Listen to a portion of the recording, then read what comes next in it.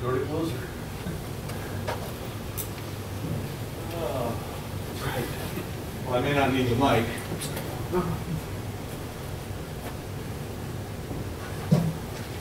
Well, thank you uh, for being here. Um, My name is Mike Gastineau. I don't know if, uh, you know, for those who uh, are unaware, I spent uh, 30 years in broadcasting, uh, 22 of them here in Seattle. I was a sportscaster, I was a play-by-play announcer.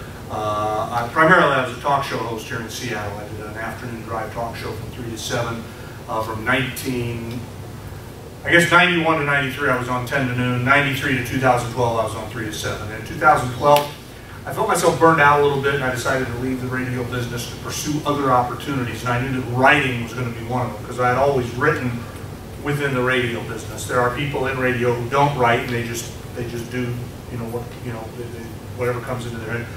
I didn't. When I was a talk show host, you didn't write out your monologues or that kind of stuff, except in rare occasions. Uh, but I would write out thoughts. I would try and get things right. So I did a lot of writing. And this goes back to my early days in radio. I loved to write. So I knew when I left radio in 2012 I would do some writing. Uh, and what I've done since then as a freelancer is I've written for various media outlets around the area and around the country. Uh, I've written some for corporate, which I've, I've, I've kind of enjoyed. It's, it's, it's more fun to write for a media outlet because your ego comes into play. You get to put it out there and, hey, look what I wrote for the Seattle Times. Look what for corporate, you kind of have to take a step back and go, okay, and you just show it. because This is actually my work. It, it's kind of cool. Uh, and I enjoyed that. I, I, one of my clients was uh, Tatoosh uh, Whiskey and Bourbon. They're local guys who got into the, the distillery craze, and I wrote their website for them and did a bunch of stuff with them, which was a lot of fun. Uh, I also, uh, by the time 2012 had come around, I had authored one book. I co-authored, and I'll tell you about that in a minute. But I kind of in my mind, I thought I'm going to do, I'm going to do a, a book or two. I, I, didn't know what it was going to be about, but I, I want to write a book. I want to see what that's like because the book I had done in 2009, I collaborated with two other writers. Yeah, I'll tell you more about that in a minute. Um, I, I wanted to consult companies on communication needs. I felt like I was in a unique position to do that. That has not been a business I've been able to cultivate as much. Uh, I'm, I'm amazed, um, and I've kind of given up on that end of it, but I was amazed at the number of CEOs I would meet uh, who I would say, hey, I'd like to come in and kind of show you some, some social media tricks and some things about the actual, you know, I'm, I'm not a guy who, I, I can't do like SEO, I know what it is, but I mean, that's not where I'm going to help you, but the actual content of the tweet, making sure it's right, making sure the words are right, that kind of, and they all almost invariably said, oh, well, we have a kid just out of college handling that for us. And I said, this is like the most, not that I'm against kids just out of college, I was once that myself, but this is the most important free advertising your company can get you. You ought to have some experience in it. Take advantage of somebody who's been in the business for a while. But, but you know, again, you try to create a market, and eventually the market tells you, you know what, nobody wants this, so nobody wanted that skill out of me. And then I also knew I'd do some freelance broadcasting. I've gotten back into that more. I was burned out on doing broadcasting every day, but I definitely wanted to keep a foot in the door and still do things. And, and so now I, I do some vacation fill-in work at KJR, and that's fun. It's it's like the best of all worlds. I can dip my toe in. It, it, you know what? I, I equate it to, and since I don't have kids, I can't even speak to this, but I equate it to the way people talk about having grandkids. Being a fill-in at radio, I can go in, have a little fun, and just about the time it gets to be a pain in the neck, I'm leaving, and you won't see me for another two weeks, so it's perfect. So that's what I've been doing since 2012. Uh, and among the companies I worked with, the Boeing Classic, uh, Copa America, the, uh, the soccer tournament that was here. I worked with the USA Special Olympics team. So I've done a lot of corporate writing and work with those kind of companies and events, and I, I, enjoyed that. That was it was fun after years of covering those events as a media person to see them from the inside and to see the amount of work that goes into them. And this is off the topic a little bit, but I'll tell you, for, for Copa Copa Americano, I think they called it for the soccer tournament we had three games here in Seattle about two years ago. They they had me do. I, I ran their media accreditation center, which I really had no business doing, but I actually did an okay job at it. Um, one of the things I asked them, because I said, we can't really pay you what you're worth. And I said, don't, don't worry about that. Let me sit in on every meeting. I want to see what an event feels like. So I got to sit in, and the thing that, that really amazed me, I got to sit in on the security meetings, and you'd be amazed, or maybe you wouldn't be, at the amount of detail that goes into that. I mean, no stone is left unturned. And I mean, we all, anybody in the sports business should think about soft targets in the, in the world we live in now. But man, is there a lot of thought and effort and work that goes into making sure everybody's okay. So that's off the topic a little bit. But that's one of the fun things that in a career change, when you say I want to explore new opportunities, suddenly you're free to do those kind of things. And that's what I did. Now, the, the workshop is entitled How to Write the Next Great Sports Book. I wish I knew how to do that completely, and if I did, I probably would be out doing that. But I want to give you as many tips as I can on things that I've learned. And if you're a, if you're a writer, if you've done some writing, or you're thinking you'd like to do some writing, hopefully you can learn a few things along the way. I'll give you a brief overview of the four books that I've done in my career. I did a book uh, in 2009, and this kind of fell out of the sky. I got an email uh, from a publishing company based in Philadelphia, and they said, we've got this format we've been doing in some cities. It's called the Great Book of, in our case, the Great Book of Seattle Sports Lists. And what they wanted me to do was basically write an anecdotal history of Seattle sports using lists. Who are the 10 greatest Sonics of all time? write a couple paragraphs of each one. Who are the 10 greatest Seahawks? What were the 10 biggest upsets? What are the 10 funniest things? On and on and on. And they'd let you come up with one. they had a list of things you could use. They said you also can come up with your own. And I felt almost right away that I was out over my skis a little bit. I knew I could write, but I didn't have as good a grasp of Seattle sports history prior to my arrival in 1991. So I called up my friend Art Thiel, who was writing for the Post Intelligencer at the time, local columnist, and now has Sports Press Northwest. Art brought Steve Rudman, who is a local behind-the-scenes writer who's just a research junkie. He said, we need to bring him in and it'll be good. So the three of us wrote this book together. So my first book was a collaboration, and I learned an awful lot from Art and Steve. And it, it uh, we published the book in 2009. Uh, almost the day after it was published, I was like, I want to do it on my own now. I know what I'm doing. I want to try one on my own.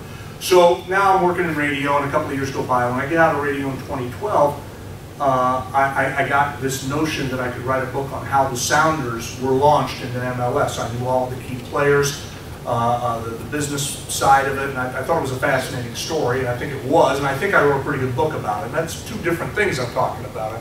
I always tell people, hey, this, this book I'm working on is a sensational story. And they go, well, you got a big ego about yourself. I go, no, no, no, no, I'm saying the story's sensational. We'll see if the book's any good, but the story's great, and that's a big key we'll talk about is identifying the story. So Sounders FC Authentic Masterpiece, I self-published. Uh, it came out in 2013.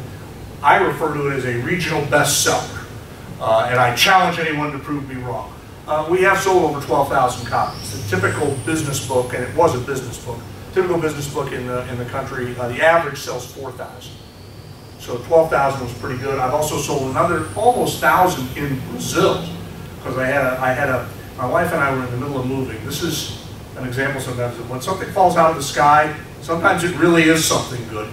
We were in the middle of moving and I get an email saying, uh, Mr. Gastineau, my name is, um, I can draw a blank on the guy's name, Gabriel, Gabriel Gobret. My name is Gabriel Gobret. Uh, I work for a small publishing company in Sao Paulo, Brazil. We are going to exclusively publish soccer books and we'd like an American title to put in our catalog to make us look bigger. And we'd love to do a deal with you.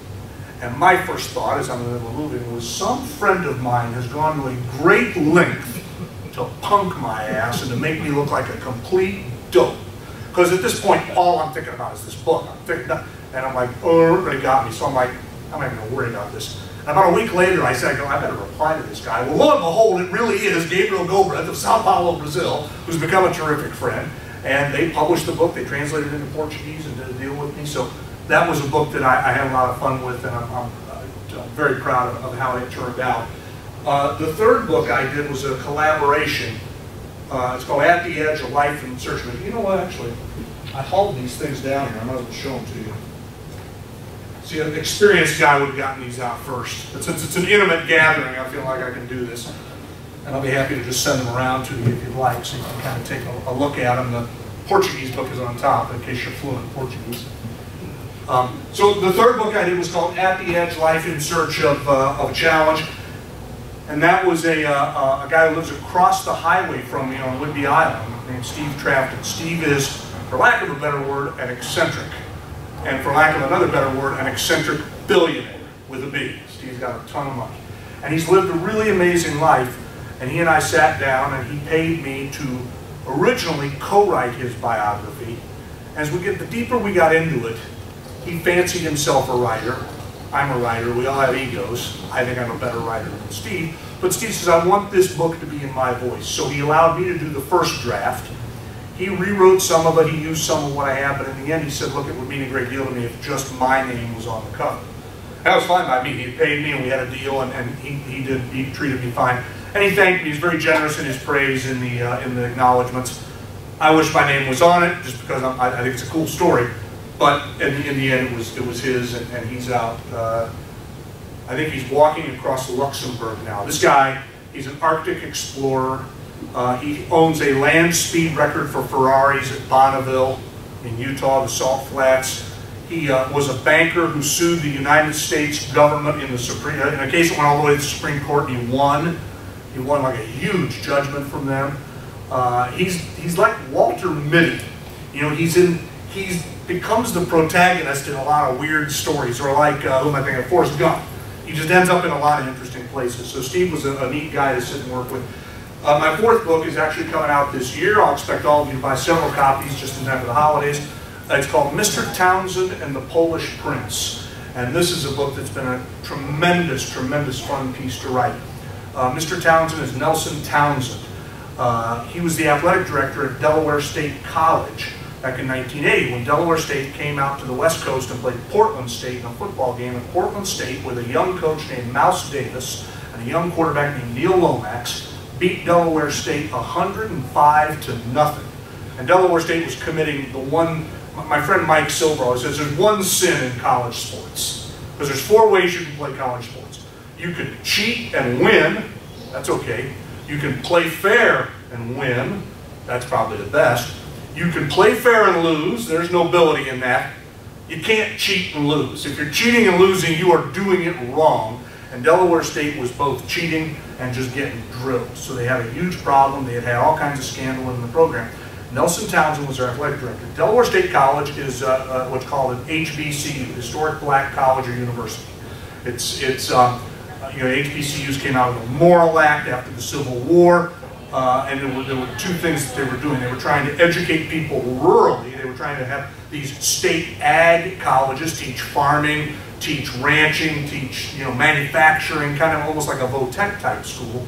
Uh, and they also we, we you know as a nation we are freeing a bunch of people. We've got to give them an avenue for education. So that's what that and and what happened was they gave these land grant universities to all these states, and in a lot of cases the, they they took the land grant. They said this is great, and then they immediately barred black students. So the whole point of this, and when we you know, so then in 1892 they said to any school that had accepted the land grant from the U.S., they said you have to either admit uh, black students or, or tell us why you're not and most of the states, to get around that, immediately formed a black-only college. That's where historic black colleges came from. You know, people who maybe either aren't enlightened or don't want to think about it go, well, why do they have to have their own college? And well, they have to have their own college because they couldn't get into other colleges, and they had to start one so they could educate themselves. And uh, so anyway, that's where the historic black college network came from. So Mr. Townsend is Nelson Townsend. He's the athletic director. He has to hire a new football coach. Uh, the coach he hired was a guy named Joe Purzycki, who was the Polish prince in our title.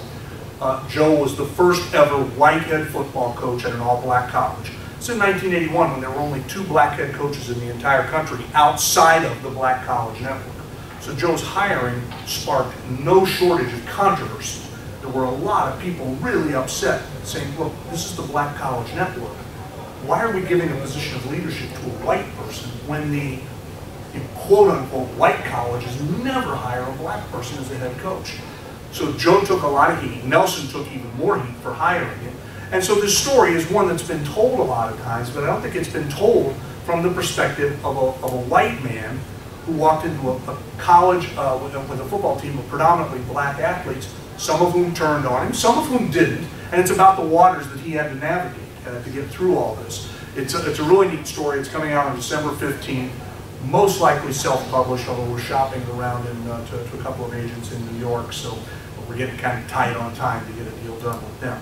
But anyway, it's a, it's a neat story, and I'm, I'm really proud of it, and it was uh, it was fun to write. So those are the four books I've done. So I, you know, hopefully that gives me a little bit of credibility in how we talk about this.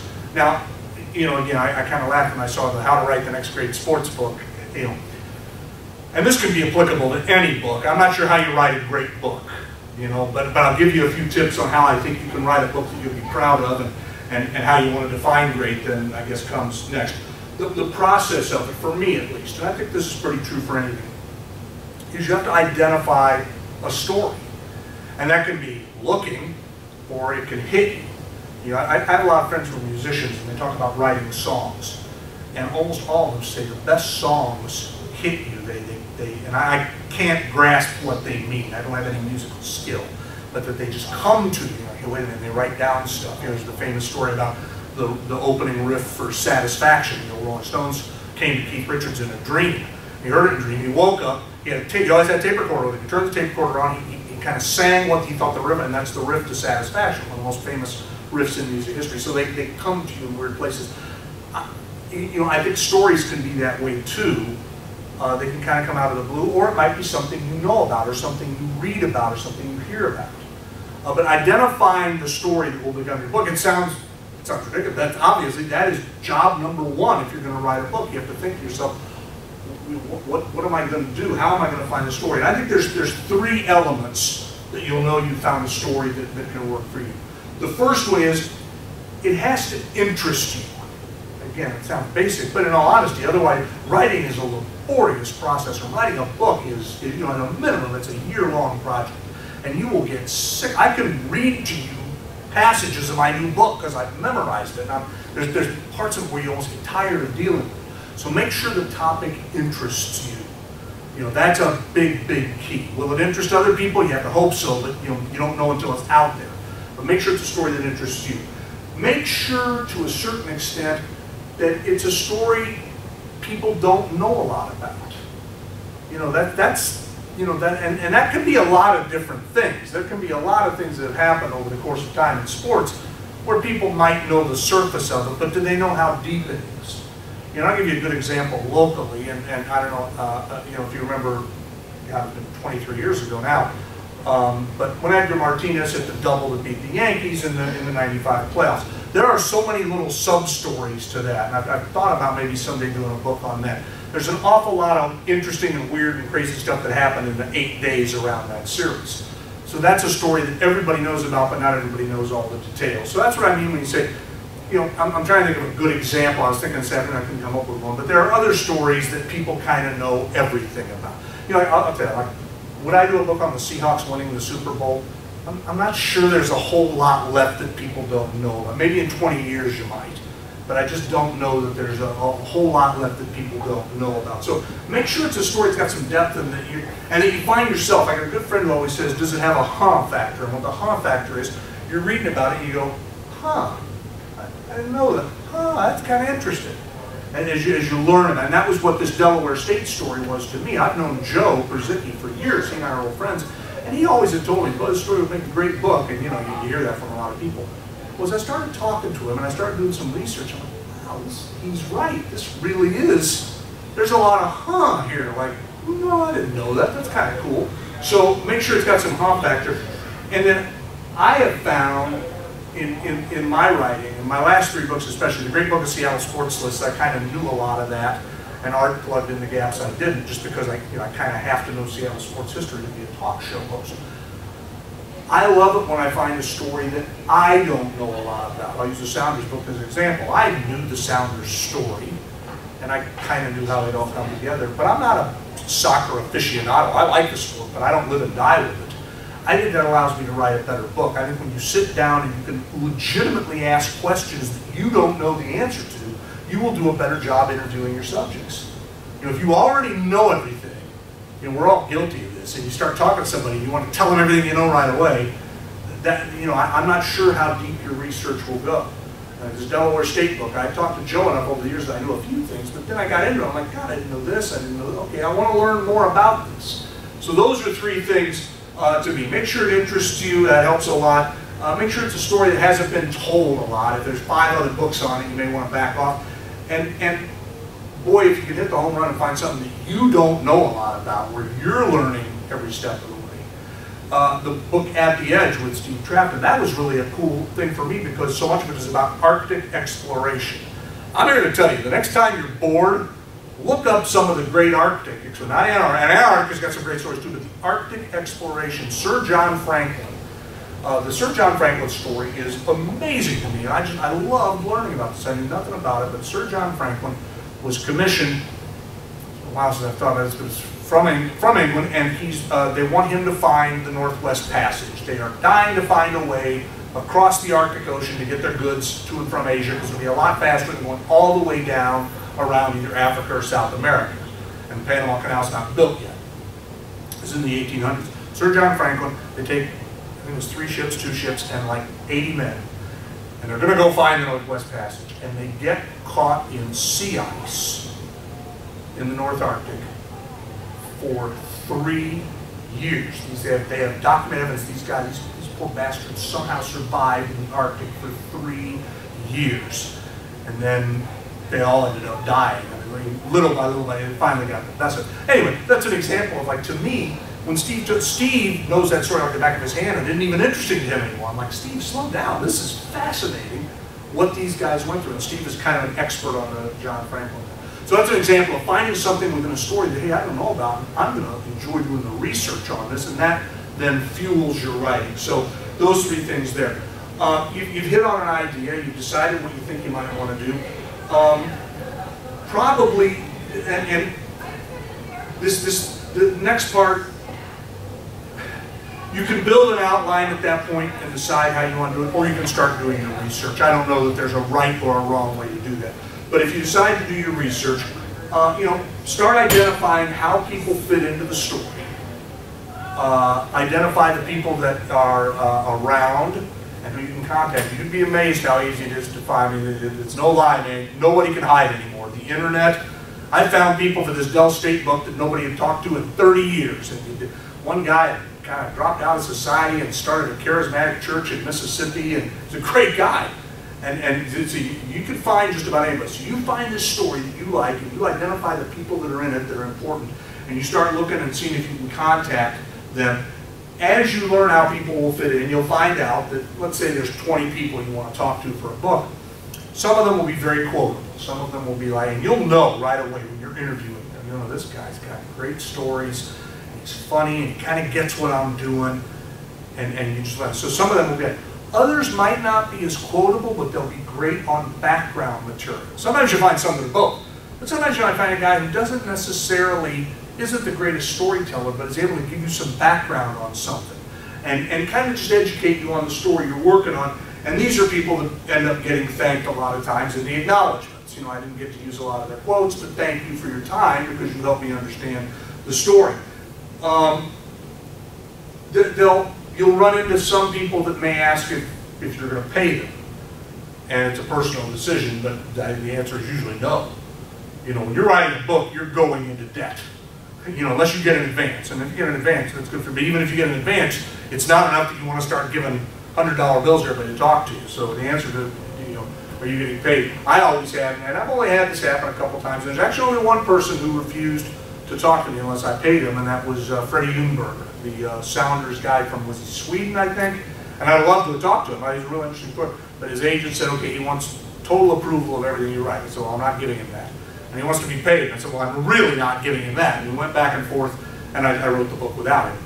His life went on just fine, so did mine. It's not a huge deal. But if you start paying people for stories, then you know you're, you're going to be broke, and you're going to have to sell a lot of books just to make up for that. Um, newspapers, you know, are incredible sources of information. There's a website called newspapers.com that like I'm addicted to now. It's just it's it's it's hundreds and hundreds of papers archived online. It's not cheap, it's not crazy expensive, but it's like maybe 75 bucks for six months. So it's a little price. But boy, oh boy, when you get in there and you can just dig up any story you want and and you, you, if I find myself like it, it slowed down my research a little bit on the Del State book because I'd be reading and I go, hey, look, the 1983 pennant race, and I'm reading stories about what you're doing. I'm like, ah, you know, stop it. Get back to what you're supposed to be doing. Uh, so newspapers, it's funny because we're at a time where newspapers obviously are not as powerful and influential as they used to be. Although, it's interesting to me, without getting political, that as much as our president hates the media, he's done more to fuel the newspaper business. I mean, he's, trust me, the newspapers I don't know how they'll stand editorially, but in the business room, they're like, hey, you know, four more years of this, then we'll just keep selling papers because he's a fascinating character and people want to write and read about him. Newspapers are in a little bit of a decline, but online and old microfiche, that kind of thing, they're tremendous uh, uh, sources for you just to get to fill in the basics of a story that you're looking at. Uh, and, and again, just about anything that you would think of story-wise, there's some old newspaper articles or something about it where people have commented on it. So uh, uh, you'll want to use that. Another, so, so, begin research, begin contacting people, think about how you're going to tell the story. Uh, the interview process is next. That's a natural thing for me. I was in broadcasting my whole life. I love sitting and bullshitting with people. It's not as easy for some people, but it's actually kind of a fun thing. Again, if you're interested, one thing to keep in mind, if you are interested in this story, I have yet to meet the person who doesn't want to talk about themselves. When you call somebody and say, hey, were you the guy that did this? Yeah, well, I'm working on a book and I'd like to talk to you about it. Most people go, yeah, I'd love to talk about myself. Who doesn't want to do that? So it's fun. So, so you set up your interview process. When you do this, uh, be sure you have enough time blocked out. Ideally, you'll meet with people in person. That's not always possible. And in the age of Skype, and you know, there's still, I'm not a landline. I'm like the last guy with a landline in my home, but it, it sure comes in handy when I want to do interviews. With phones, you know, there's ways to, to, to do the interviews where you don't have to be in person. You want to record every interview that you do and you want to save those recordings, and you want to say to the, what's your name, sir? Jose. Jose, uh, is it okay with you if I record this conversation? And then he's going to say yes, and you want to have your recording going while that's on there. That way, just in case Jose comes back later and says, I didn't give you permission to talk to me, you say, no, you said right here it's okay if I talk to you and record. So every conversation you begin with someone, and people expect that, is just say, is it okay with you if I record this? And they'll say yes, and then you're off to the races. Um, You'll have done your research beforehand, so you'll have the five or the 10 or the 20 things you want to talk about. I try not to necessarily write out questions. Just jot a word down, it'll jog your memory. By now this thing will be deep in your mind and you'll know what you want to talk about. And get into a conversation. You know, if it's question answer, it can, it can kind of slow it down. Try to get into a conversational flow with them and, and, and build it through that. So make sure you have enough time block, jot down the things you want to talk about. Now, uh, there's a couple schools of thought here. I'm not an old style print reporter. Print reporters are amazing. They can actually write while they're listening to you. I don't know how they do that. I have to kind of look at the person and listen to them. I might make a note on a follow-up question that I want to ask, something that they said. But to me, it's really critical to listen to what the person's saying, because oftentimes the next question is in what they're telling you. And they might be telling you something amazing. I didn't know that. So you, you, really work on your listening skills. And that's, that's easier said than done for all of us because among the great things social media has done for us is it's turned us all into goldfish. Our goldfish, the animals have like a seven second memory. And somebody said that's why they swim around in circles forever and not go crazy because they only have seven seconds of memory space and they're tiny little goldfish. We're all turning into that. You know, we're all distracted so easily. Really work on clearing your mind and sitting down and listening to the person who's giving you this time because it's valuable. It's the lifeblood of your book is what they're going to tell you. So uh, now we get to a point here where I differ from a lot of writers. There are transcription services that you can hire. And generally, a lot of times it's just college kids, a lot of English majors in college sign up to do this. So you interview me for your book and we talk for an hour and a half and then you send the tape off to this person, you pay them and they send you back what was said. Partially because I think I'm clinically insane and partially because I think it helps me write better, I do my own transcribing, which is insanely time consuming insanely difficult. But I just think it helps me write the book and I build quotes as I'm going through that. So writing for me almost becomes an exercise in copy and pasting. So a lot of the work I'm doing is transcribing the interviews and then I get back and I'm like, wait a minute, this guy said something about this and that quote I can pull out and put in there and it'll plug in great. So Transcript, and it's a personal thing. Most writers would laugh at what I just told you. And they'd say, I use a transcription service because I send it off, and these people are geniuses at it, and they get it done in a third of the time it would take me, and it doesn't cost that much. So it's a personal choice. Okay, now we're on to writing the book. You've, you've identified your story, uh, you've built your outline, uh, you've, you've, uh, you've done your research, you've got all these great, uh, there's a, you know, your, your office will look like a beautiful mine. You'll have stuff stuck everywhere, and, and, and piles of papers, and this and that. Now you're going to build your book. Uh, and, and the first thing you have to do, this is something you learned to do as a kid, it finally is coming back to help. Build an outline. Build an outline of what you think your book is going to look like. And this, as I said earlier, this, I don't know if there's a correct order for what I'm telling you. You could build the outline the instant, the minute you decide on the story. Okay, here's what I think the outline's, and then go do your research. But at some point, you're going to build an outline. And it's just like it is a kid. You know, you're like, all right, what am I going to have? 10 chapters. Okay, here's what each chapter is going to be about. Okay, here's what I think I'll explore in each chapter. And just do it that way. Big thing when you're building an outline, no surprise here, is don't get married to any one idea. Don't get married because you will get into it. And, and, and if you're like, oh, this has got to be here, and you go, no, no, actually, now that I've done some writing and some working around, this might be better over here. Or this thing here that I thought was a big part of the story, I'm taking it out. It doesn't fit. So be open to those kind of things as you're building the outline. Editors, as you work with them, may make that suggestion. But you'll also see, you'll get into something and go, you know, this is a funny story, or it's a great story, but it just doesn't fit this particular book. Or it doesn't fit right now, I'm going to save it. Don't ever throw anything away put it in a file of stuff to look at when you've got most of the draft done. You can look and see if there is a place to fit it. But be open to changes within how you look at the manuscript. Um, if you can write the book in order from first word to last, congratulations, you've been able to do something I don't think any writer's ever been able to do. So in other words, you get an idea, you get a thought, so write it. Get it done. Don't worry about where it's going to fit in the book. You'll, you'll figure out where it fits later. And you'll figure out what the lead of your book is, what the first chapter is going to be about. You want to hook people. The first chapter's got to be good. Steve and I went round and round, and we originally were going to open the book with him. He's got a great first-person account of surviving an avalanche.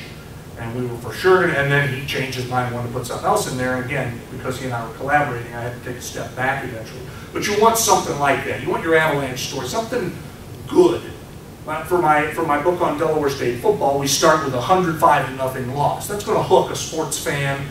And you know, that's 105 to nothing. That's crazy. That never happens. So it's a, it's a, it's a good way. Uh, and, and you'll discover that as you get in. You'll find the one thing. And, and again, it's a difference between, okay, what will hook the reader in versus what's the big climax point? What's the point where, you know, you get over the falls a little bit? That's, that's the two different things. Just be open to arranging and rearranging things within the framework of the book because there's it will present to you opportunities to do just that. Um, I want to talk a little bit about uh, collaborating versus working alone.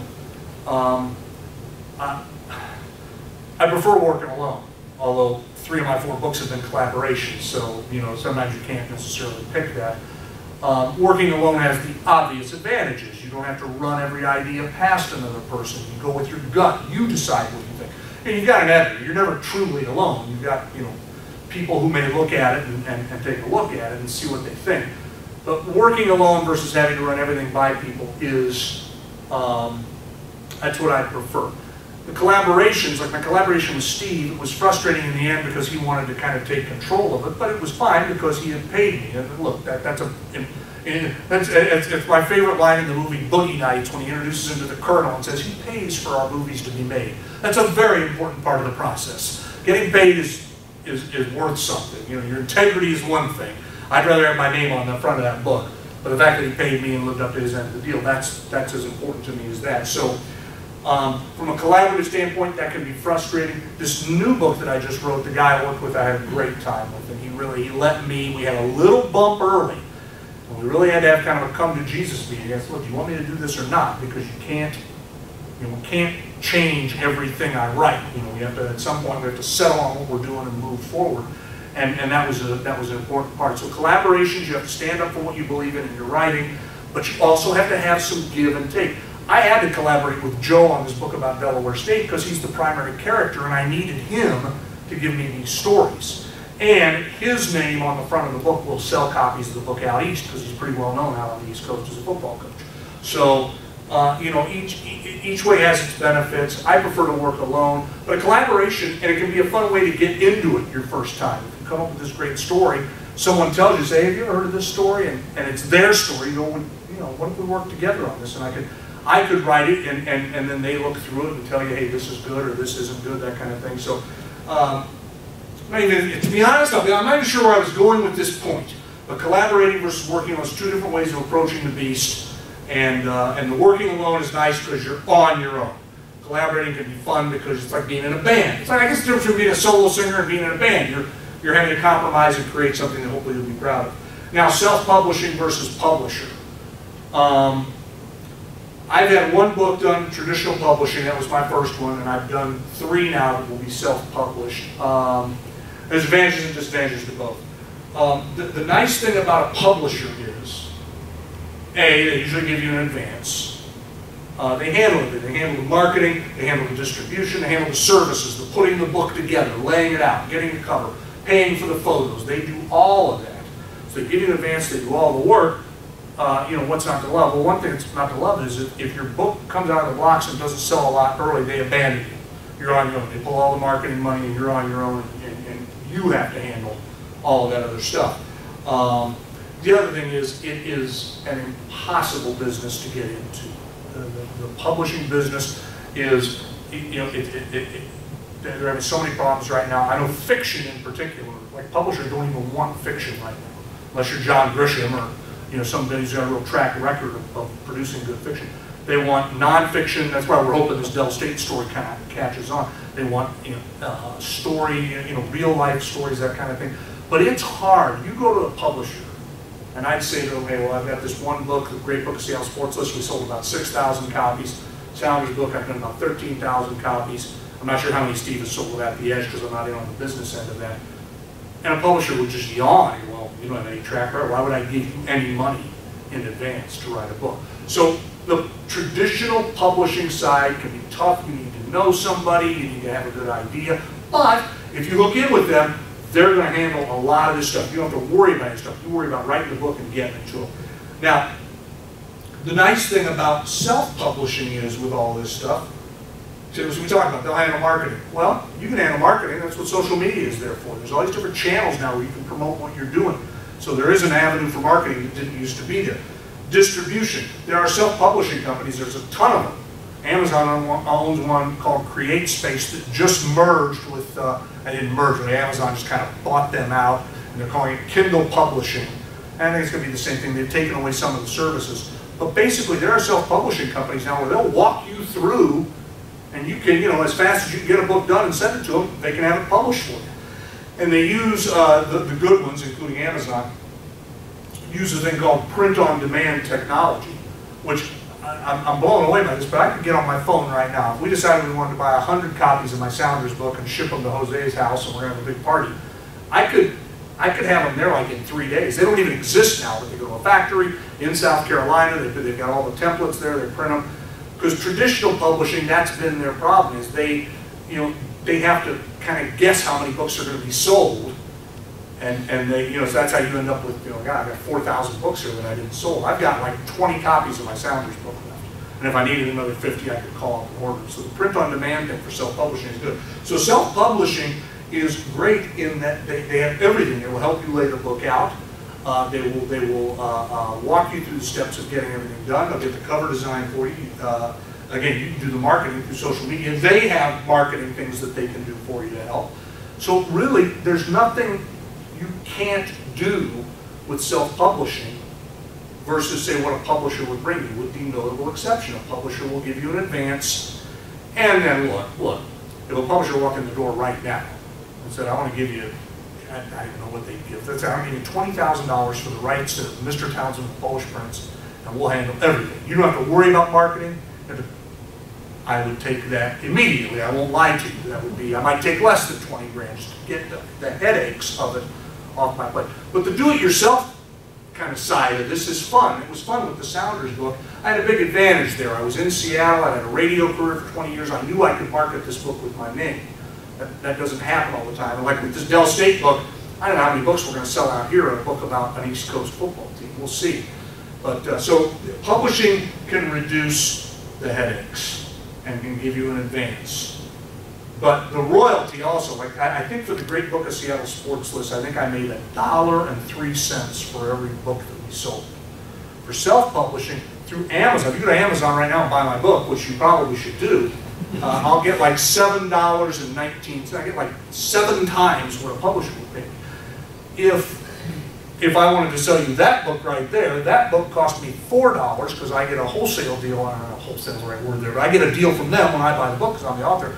And I and, and the list price is nineteen ninety five, and I say, hey, I'll give it to you for fifteen bucks. Well, now I just made eleven dollars on that book. So so the do-it-yourself, if you got kind of a little head for business, and trust me, I have a little head for business. I'm not a great businessman, but I've had to learn.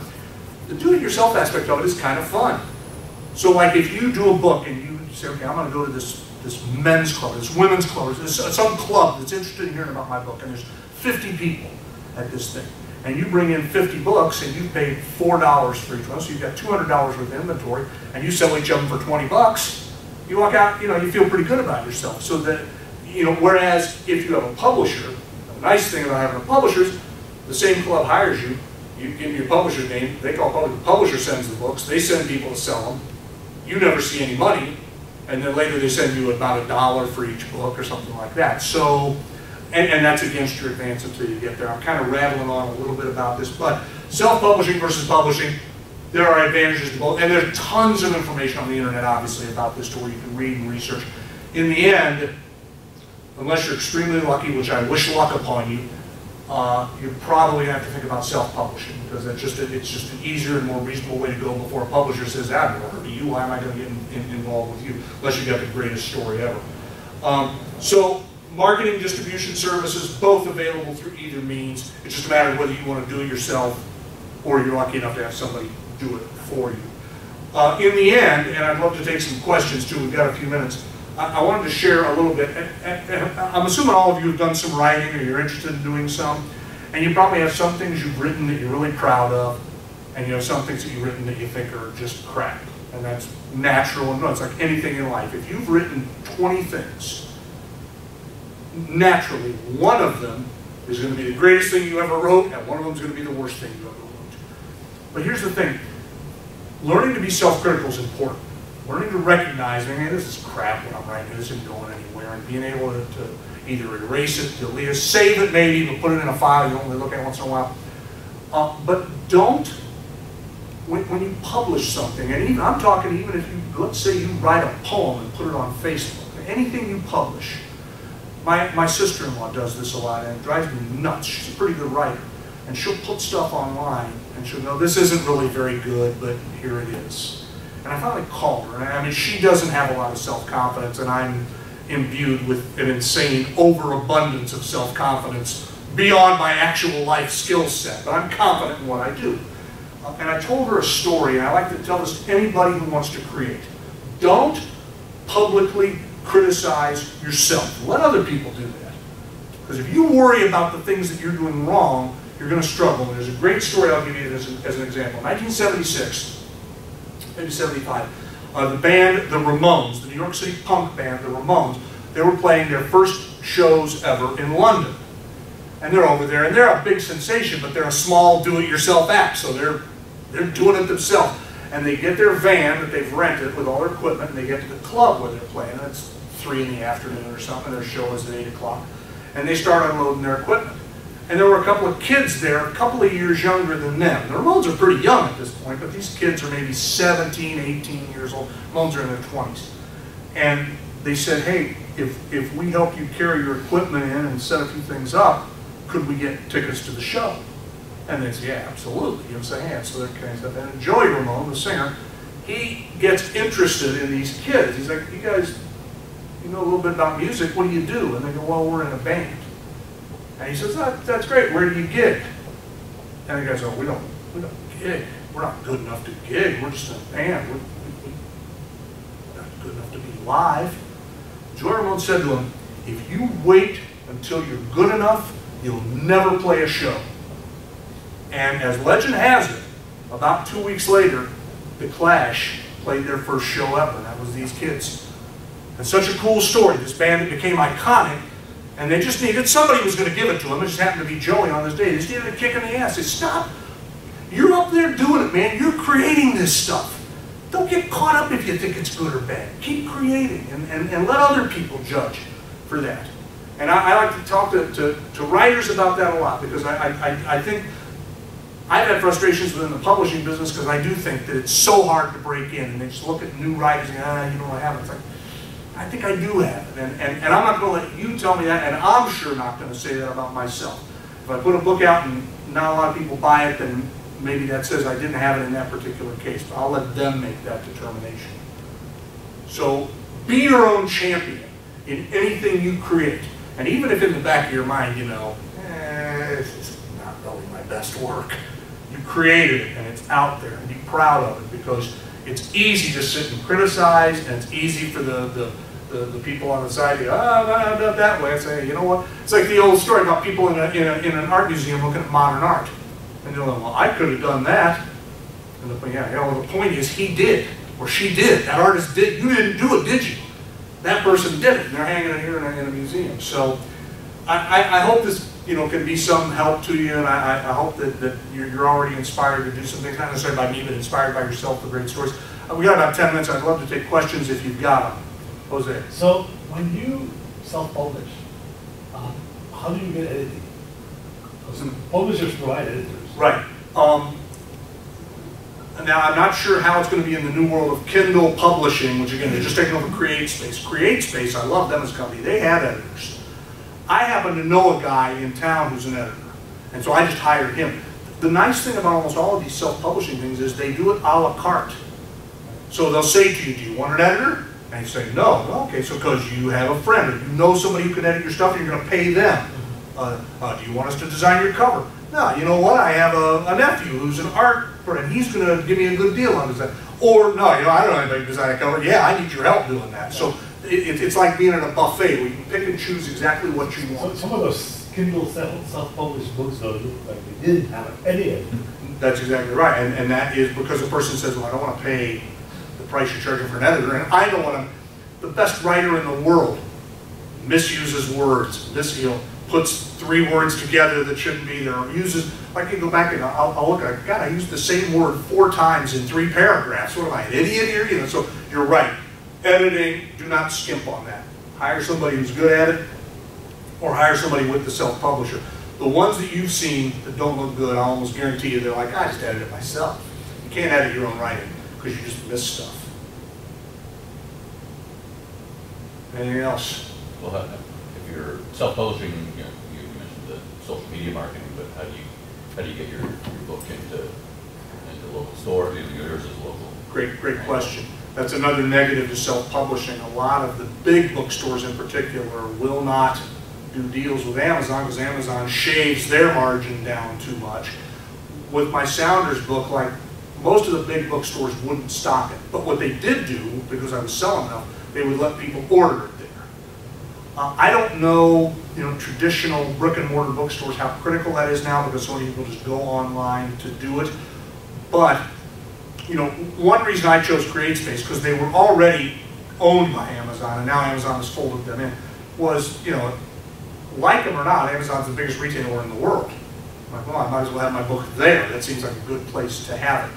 But that does bring up challenges. And what, one of the things I had to do, and I kind of liked this because I had the time and it allowed me to explore the business a little bit, I called independent bookstores and met with them and said, look, I, would like to do a deal with you. And they all wanted something a little different, but then, and some of them just ordered the book on their own. Said, we'll, we'll take care of the business then. But others said, no, we want you to order it, bring it in. So I'm suddenly I'm a delivery boy and I'm, I'm bringing stuff. But I kind of I liked that aspect of it. I thought it was kind of fun and I got to meet a lot of interesting people. But you do have to do that. There's there's more work involved. I was in a great place. It was the only thing I was doing that year. I had that luxury. Most of us are, you know, you're doing other things and trying to do it. I, I took a whole year off to do this book just to see what it would be like. So I had that luxury. But um, it's another plus in the publishing side. You don't have to worry about the distribution end of it. In, in the self-publishing, yeah, you've got to cut deals with bookstores, and you'll find out, you know, again, I, I uh, like Costco. I'm, I'm, I'm, at a, I'm at a concert at Chateau Ste. Michelle one night, and the guy said, you need to meet this woman. She runs the book division at Costco. This is Craig. It was fallen into my lap, and my book had just come out. And I go over and I tell her about the book. She says, That's fabulous. We loved it. You want to do a big display? I said, Fantastic. She goes, Well, who's your publisher? And I go, Well, I, I self-published through CreateSpace. She goes, Our conversation's over. Costco will not do business with Amazon. You know, somebody pissed somebody off at some country club a while back, and I'm paying the price for it, you know? So that does then come up. Those are headaches that you will hit, and you just have to there- I didn't have any choice, it wasn't like I could do anything different. So, and that stuff can change too, and I had, I forget which bookstore it was, maybe it was third, my third place was pretty good. There was some bookstore that originally told me, no way, we won't deal with Amazon. And then they got back and said, you know what, your book's actually selling, we've had some people come in, so we'd like to get 50 copies of it and see where it goes. And for them, it's, it's as much as just getting people in the store because they don't, you know, it's, the book business, the margins are thin. It's a lot like the music business that way. Anything else, any other How about reviewers? reviewers? Uh, with, uh, you know, again, with a publisher, they will send it out and get it reviewed. Self-publishing allows you to buy what's called a Kirkus review. Kirkus is a literary website that reviews books, and it's, it's not very much. They don't charge you very much. And the nice thing about buying a Kirkus review for your book is they allow you to decide if it goes public. So if Kirkus reviews your book and says, this is crap, it's drivel, you're out the, whatever, what it was, like 20 bucks or whatever, you're out the 20 bucks to have them do the review, but you can say, no, I don't want this to be made public. And, and it's, and now I got lucky, they actually liked my book. The other thing that you do with reviews is, uh, and again, I was able to, to kind of chart people on, when I would see somebody on social media comment on, hey, I like Mike Gastineau's new book, I would then friend them, direct message them and say, would you do me a favor? Would you please go to Amazon and write a review for my book? And there's, if you go to my book on Amazon, the soccer book, there's like 55 reviews And most of them are good. There's a couple bad ones, but that's okay. That then, when my book was hot in 2013 and 2014, those reviews tended to push it up in search engines and push it up on Amazon. So you know, you want to be careful if you ask friends to do that. Please don't. You I always don't say, don't say, Mike is my good friend. You know, I want people to think this is all generic. And 98% of mine was. It was just people that said I like the book, and I would contact and say, if you'd be so kind as to write a review for me. Again, that gets back to you have to be your own marketer, and to do that, you got to believe in what you're doing. So what about, what about, uh, on that same note, you, you know, maybe you get somebody that reaches out to you and, and, uh, maybe they're a soccer business or soccer social media site and they have X amount of followers and they say, hey, if you send, we review books. Yeah. But they say you send us a book and then we'll give you, we'll review it on our end and Yeah. that. Is, That happened a lot. do you avoid that? Do you push No. that? Do you just? I, I, I did everything I could possibly do. I just decided, look, I'm, I'm fishing with a wide net here. And, and soccer especially is an interesting sport because it isn't covered as much in the mainstream media. So a lot of the media that covers it is blogs, uh, uh, podcasts, this kind of thing. And I have people reach out to me and say, hey, I'm, I'm, I, I, I- I like your book. Would you come on my pod? I wouldn't even ask them how many people download their podcast. I say, yeah, of course I've got time to talk to you. And so, yeah, I, I had no trouble with any of that. I, I did a podcast with a guy one night. I forget where he was located. But I finally, I've never done this. We had been going for almost 90 minutes, and I finally said, I gotta stop. I, I, I don't have anything else. to-" And I think it was just me and this guy talking. I think he was just a conversation. He just wanted to talk about it. I said, yeah, we're, we're done here. I got nothing else to say to you. So, but in, in terms of marketing, I, I was, again, I keep using music analogies, but I always bought into the analogy. You know, the, the, the good bands will almost all tell you that they had a gig in their life where they showed up and there was nobody there. I go, like, you know, the key to that is you treat it like it's Madison Square Garden. There's three people there. You treat it like it's the biggest show of your life because it's the biggest night of their life. You know, that's how you get to be good at something. You treat big and small the same way, and, and, and that allows you, I think, to build success with it. And if I could do my soccer book again, I know so much more now that I didn't know, obviously, the first time you go through it. And my wife would tell you that I should tell you that you should have a second book in mind when your first one gets done. Because I got done, I'm like, I'm burn it out. She goes, "Uh, well, it's funny, our bills are still coming. I'd like you to come up with another book idea. But you do kind of have to wait till something speaks to you a little bit. Yeah. I'm currently working on a book. We pretty much need to be ready before our season starts. I'm a broadcaster for a team. It's our 20th season coming up. What's she? You Wenatchee Apple Sox. the Oh, okay, yeah, Baseball. yeah. It's- There you go. The Apple but, Sox. um, Yeah, and I mean, it's, I think my biggest thing I'm worried about is when I need to get it out. Mhm. When I need to be completely finished and setting it over. Are you thinking of self-publishing then? Yeah, that's No. our. Uh, the great thing about self-publishing is, God, anymore, I mean, I think for my book in 2013, they needed about a m- a three weeks to a month. Now, I, I talked to them recently, and said, now I'm like 10 days now. Yeah. Now, you gotta have it done, it's gotta be edited, yeah, clean, Really? formatted, a lot of these sites don't format anymore, so you may have to pay, you may have to go to a company that does, you know, that, that specializes in this and give them, I- yeah, I don't know what they'll charge you, and say, I want this formatted so it looks good, to your point, you, you want it to look like a book. You don't want the pages to be out of order or something like that, shit, that, that's no good. We wanna make this thing look like Random House did it, and there's a way to do that, but if you can have it done and edited and, and, and whatever, when, when's your season start? Starts. So you want to have it out right before then, Memorial Day, let's say. Um, so I would get, if, if I were you, I would back it, back it up and I would say, okay, I want this thing ready to publish by April thirtieth. And we built it a little, and that means I gotta have it done by about March thirtieth, which still gives you enough time, but it, it's amazing how quick they can turn it around. Do, do these uh, self-publishing uh, software, does it allow multi-purpose use? Like, you know, for instance, for, for this book project, Mhm. we love to take the material that he's creating and use it for uh, web pages, blogs, Mhm. uh, and, and other ways of doing distribution. Yeah, uh, you'll, you'll have to do it, you'll have to pull out whatever file you got to put it out there. But yeah, you own, the- my books are copyright me, I own, I own every single word that's in that book, and I can use it. Now, what I, what I'd have to negotiate is, let's say your book becomes the biggest seller ever, and a publisher comes in, now you're in some trouble, because they say, no, no, no, you can't do a deal, well, a publisher wants to give you, you know, fifty thousand dollars for the Apple Sox, uh, you've committed to us. So we gotta, but in terms of the, you own the copyright, and again, that's another cost within everything, it's all built in, and it wasn't unreasonable, I, I, you get into it, it's not that much get done. And yeah, you'll own it, you can use it on your team website, you can release it that way, Have you used your books in? yeah, yeah, like I, I, I, uh, Sports Illustrated actually uh, excerpted my book in four different, uh, online issues. Nice. So I was able to give them, and they let me pick, which is really nice, but yeah, no, you own the So we can go to our town newspaper. You go to the town paper and they could excerpt it for you, no, absolutely. And, and what the self-publisher likes that is because in there, you'll just say, hey, I'd like you to please put how they can get the book. They can go to the team store, they can go to the website, whatever, to get the actual book. And I was self-publisher, like, oh, good, I'm making a little extra money on everybody who buys this. When you, um, when you're acknowledging, like, say, you know, at the end, it's not necessarily your citation, it's gonna say this is in a paper. you Right. know, But when you're acknowledging sources, you, the people you talk to, you use their stories, you know, you may not quote them, but it's, Mhm. when you're saying that, I got information. or- Do you need to say specifically what you got from them? Or do you need to just say, you know, like, special thanks to? I, I, I think, I don't know if there's necessarily a rule. Uh, I think your special thank you, this, this book would, like my book, the- uh, Mr. Townsend, the Polish Prince, is gonna list about nine different sports writers who I took stuff from. Now, in the book, I acknowledge them each a couple of times. Okay. As Dave Smith told Jack Chislak of the Wilmington paper, blah, blah, blah, blah, blah. Then the next quote I might use, I might not acknowledge Jack, but then at the end, in the acknowledgement, they go, hey, this book wouldn't have been possible without the reporting of this guy, this guy, this guy, this guy, this guy. Okay. So yeah, however you want to word that, uh, but you, I don't think you have to specifically, I wasn't sure, it's a lot of mine for the to be story based.